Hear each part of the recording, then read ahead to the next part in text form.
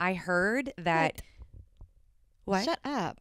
Wait, no. I heard that you're dating Martin Shkreli, the f- pharma guy. What? No, that's crazy. We're just friends. Like the whole driving the price of insulin up was supposed to be a joke. Like we're just friends with benefits.